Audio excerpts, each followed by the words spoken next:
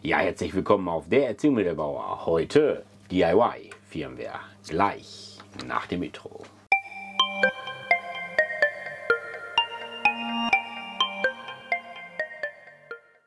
Ja, heute soll es nochmal hier um den DIY-Empfänger gehen. Und ich möchte hier jetzt die richtige Firmware bzw. den richtigen Namen 10-Kanal-Empfänger PWM angezeigt bekommen. Das heißt, ich will mir hierfür die eigene Firmware kompilieren. Also nicht mehr über die Betaflight-Variante, was ich in dem Short gezeigt hatte, sondern ich möchte jetzt hier meine eigene haben. Und das Ganze möchte ich mit in den Konfigurator machen und nicht über Plattform IO noch einen Haufen ähm, Software installieren. Das muss irgendwie mit dem Konfigurator gehen. Und wie das geht, das zeige ich euch jetzt. Viel Spaß dabei. Auf geht's. Wir befinden uns jetzt hier am PC und ich habe den Express LRS Konfigurator in der Version 1.61 geöffnet. So, jetzt hat sich ja folgendes geändert, dass wir hier unter den Gerätekategorien die DIY Devices 2,4 zwar haben, aber wir hier unten gar nichts auswählen können, was wir auf unseren RX spielen können. Zumindest steht hier überall nur TX, wie ihr seht. Das heißt, hier hat sich irgendwas geändert an der Konfiguration. Ja, dann habe ich mir gedacht, komm, probier mal hier dieses Lokal aus. Da kann ich nämlich einfach mir Express LRS äh, Code runterladen, den Source Code und dann entpacken und dann kann ich hier den Ordner auswählen. Dann habe ich gedacht, vielleicht sind dann die Gerätekategorien anders und äh, siehe da ähm, genau dasselbe Problem. Wie ihr seht, ist da jetzt aber auch nicht viel mehr bei. Da sind jetzt ein paar bei hier S3-Versionen dabei gekommen, aber für meine Zwecke sind da immer noch keine bei, die ich jetzt auf meinem Device hier spielen möchte. Dann bin ich hingegangen, bin wieder hier zur offiziellen Version zurückgegangen und habe mir gedacht, das muss ja hier irgendwie ähm, irgendwo geladen werden. Ja, und dann bin ich fündig geworden hier wie das Ganze funktioniert. Ja, hier oben ist der Pfad, das ist unter meinem Namen, unter Application Data Roaming ähm, Express LRS Konfigurator Firmwares. Da bin ich jetzt fündig geworden. Da gibt es einmal die Binary Targets und einmal die Device Options. Gehen wir mal in die Binary Targets rein. Da finden wir einen Ordner Hardware. Und in diesem Ordner Hardware finden wir jetzt genau die gleiche Struktur, wie sie in dem Targets-Projekt auf GitHub ist. Zeige ich mal kurz. Hier haben wir ja die Express LRS Projekt Homepage und hier gibt es ja den Konfigurator, den Webflasher, die Backpacks, Hardware, da wo wir unseren Empfänger her haben, da gehen wir gleich noch drauf ein. Und hier unter Targets ist quasi diese Struktur die gleiche. RxTX, Logo und die Targets JSON. Und das lädt er runter mit dieser Hardware-ZIP. Da ist nämlich genau dasselbe nochmal drin. Die können wir einmal öffnen. Und dann seht ihr, da ist TX, RX, Logo und JSON drin. Das heißt, der lädt diese Hardware-ZIP runter und entpackt die in diesem Ordner.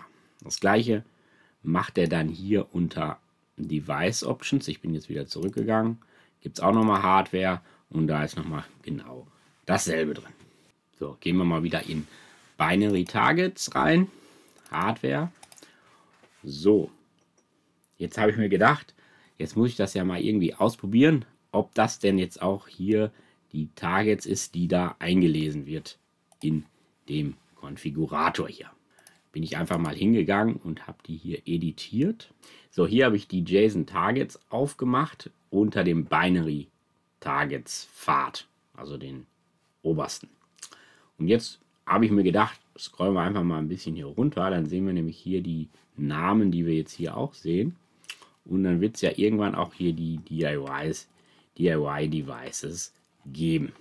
Scrollt man hier ein bisschen runter und dann sieht man hier schon DIY. Und dann sind wir genau da, wo wir hinwollen. Hier haben wir jetzt einmal die 900er Serie, also die TX 900. Dann haben wir RX 900 und Jetzt kommt TX 2400 und dann kommen hier die RX. Und das sind die S3, die wir vorhin gesehen haben, die haben wir hier in der normalen Firmware nicht. Ich bin jetzt einfach mal hingegangen und bin hier oben bei TX hingegangen und habe jetzt geguckt hier, welche wir da haben. Da haben wir zum Beispiel den BLI Joystick. Den können wir mal hier suchen, ob wir den hier finden. Den haben wir hier unten, da Produktname BLE Joystick TX. Und jetzt bin ich einfach hingegangen, habe da einfach mal was hintergeschrieben. Zum Beispiel hier meinen Namen. Jetzt habe ich das einfach abgespeichert. Und dann bin ich hingegangen und habe hier geguckt, hat sich noch nicht geändert. Jetzt muss ich gucken, dass er das einmal neu einliest. Das geht aber ganz einfach, indem man einfach hier die Firmware einmal switcht. Jetzt seht ihr auch hier den Ladebalken. Und jetzt gehen wir hier auf Device. Und wie ihr seht, steht da jetzt Frank. Genau das, was wir hier reingeschrieben haben. Also ist genau die Datei, die hier benutzt wird. Machen wir das wieder zurück, weil wir wissen ja, dass das jetzt die Datei ist. Dann lassen wir das so. Und jetzt habe ich mir Gedanken gemacht, wie kriege ich da jetzt hier das DIY-Device rein, hier den 10-Kanal-Empfänger. Dazu bin ich hier wieder in, die, in das Hardware-Projekt gegangen und habe mir einfach mal den Namen hier kopiert und habe einfach mal im ganzen Projekt gesucht und dann bin ich auch fündig geworden. Es gibt nämlich im Express LRS gibt es einen Pull Request, dass das als Device eingetragen wird. Der ist aber nie ausgeführt worden, aber hier oben kann man sehen, sind die Dateien angehangen. Und da gehen wir einfach mal rein. So, und jetzt haben wir nämlich genau die Sachen, die wir brauchen. Wir haben einmal hier die JSON, das ist so, die, so eine ähnliche Datei, wie ich zur Verfügung gestellt habe, für die Hardware reinzuladen. Hier ist genau die Hardware-Belegung nämlich auch drin, die wir brauchen. Das Einzige, was hier jetzt hier nicht stimmt, ist die VBAT Scale, aber die können wir ja nachträglich noch ändern. Das heißt, wir brauchen einmal hier die JSON und wenn wir hier ein bisschen runter scrollen, haben wir hier auch die Target JSON. Und hier ist genau das Target, was wir jetzt zusätzlich einpflegen wollen in der Target-Datei, die wir da auf den Konfigurator haben. Das heißt, wir kopieren uns einfach hier die Zeile, das ist die Klammer auf, hier ist die Klammer zu und das kopieren wir uns. Dann gehen wir in den Editor zurück und jetzt müssen wir natürlich hier auf RX gehen, da waren wir ja hier und hier sind ja genau zwei drin, jetzt sind die S3-Varianten und ich habe mir jetzt gedacht, ich baue das genau hier zwischen ein. Jetzt müssen wir nur darauf achten, dass wir am Ende hier die Klammer gleich wieder mit dem Komma zumachen müssen. Die letzte Klammer wird nämlich ohne Komma gemacht. So, ich füge das jetzt einfach mal ein. Jetzt sind wir hier bei der Klammer. Da müssen wir jetzt einmal noch ein Komma setzen. So. Jetzt können wir das Ganze noch ein bisschen schöner machen, dass wir das hier auch schön einrücken, dass das auch gut aussieht. So, jetzt haben wir hier quasi unser DIY ESP E2810 Channel PWM RX DIY Empfänger eingepflegt mit der Layout-File JSON hier unten. Die müssen wir jetzt aber noch runterladen. Das machen wir eben. Die war ja jetzt hier auch drin. Die können wir, glaube ich, hier über die zwei Punkte View-File machen. Und dann können wir uns die hier runterladen. Ja, die speichern wir einfach mal hier in Download-Ordner ab. Dann holen wir uns die hier weg mit Copy C. Und jetzt müssen wir in den Binary Targets rein. So, hier war ja die JSON, die wir vorhin geändert haben. Könnt ihr hier sehen am Datum. Und jetzt müssen wir die JSON unter RX einfügen. Hier findet ihr auch jetzt übrigens die Generic wieder, die alle nicht mehr funktioniert haben. Die könnte man jetzt auch in die JSON hier vorne in die Target JSON einfügen und dann werden die auch wieder alle funktionieren. Die haben sie nämlich einfach nur hier aus der JSON gelöscht. So, ich füge jetzt hier einfach die JSON für meinen Empfänger ein und schon bin ich fertig hier. Jetzt machen wir hier mal einen Firmware-Switch und dann laden wir hier die Sachen neu und jetzt gehen wir hier unter DIY und wie ihr seht, haben wir jetzt hier unseren DIY ESP32 E28 10 Kanal PWM-RX. Den können wir jetzt einmal auswählen. Jetzt kommt aber hier unten eine Fehlermeldung und jetzt kommt nämlich dieser zweite Ordner ins Spiel. Wir waren ja hier in Binary und jetzt ist das gleiche nochmal in Device Options, hatte ich ja gesagt. Da müssen wir im Endeffekt genau dasselbe machen. Hier in RX wieder unseren Empfänger reinkopieren, habe ich gemacht.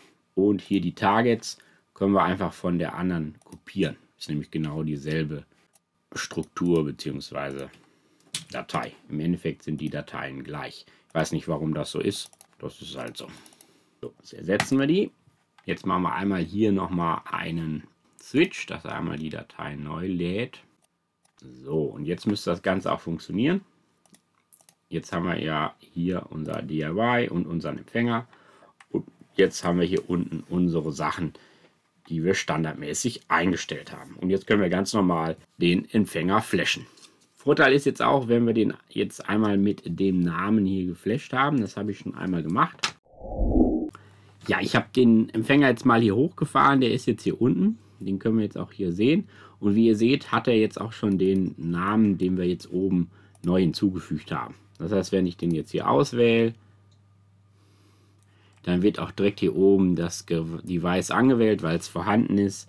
Und ich kann es jetzt einfach auf die entsprechende Firmware hier updaten. Die Firmware wird kompiliert und auf den Empfänger geschoben.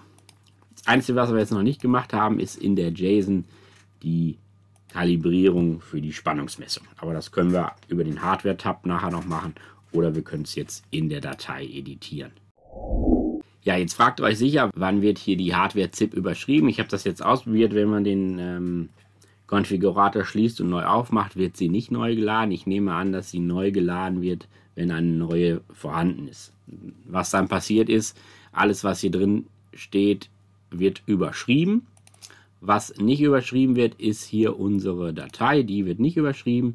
Das heißt, wir müssen im Endeffekt nur wieder die Targets JSON anpassen, wenn eine neue Hardware-ZIP rausgekommen ist und dann können wir wieder ganz normal hier unsere Empfänger darüber updaten. So viel dazu, dann kann man nämlich auch sich diesen Umweg über die über IO-Plattform sparen. Da müssen wir dann nicht wieder extra Software installieren, weil ja im Endeffekt hier im Konfigurator schon der Compiler integriert ist. Ja, das war's. Bisschen Theorie heute nur, aber das muss auch mal sein.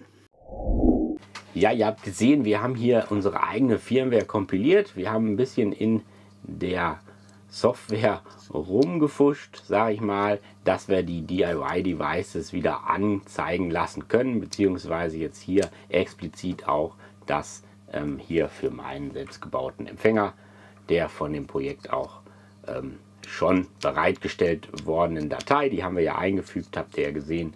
Und so können wir im Endeffekt jetzt auch alle anderen DIY-Devices wieder äh, reaktivieren, dass die im Konfigurator funktionieren. Nur beim Update müssen wir dann einmal die Target-JSON ändern. Ja, falls ihr noch weitere Videos hier auf meinem Kanal sehen wollt, ihr den Kanal noch nicht abonniert habt, könnt ihr das gerne machen. Alle anderen können noch einen Daumen da lassen oder wenn eine Frage oder irgendwas ist, einen Kommentar in die Kommentarfunktion damit. Und dann sehen wir uns alle wieder beim nächsten Mal, wenn es wieder heißt Ziguan, der RC-Modellbauer. Ciao.